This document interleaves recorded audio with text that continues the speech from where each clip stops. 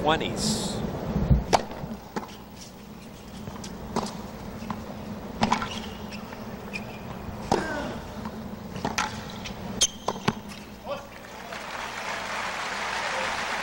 I think the next closest is 10.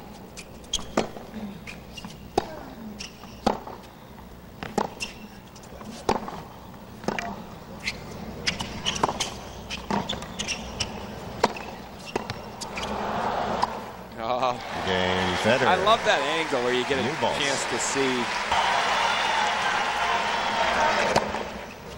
Game set match. Federer. Three straight sets, and Roger Seven, Federer five, into the final eight here in New. York.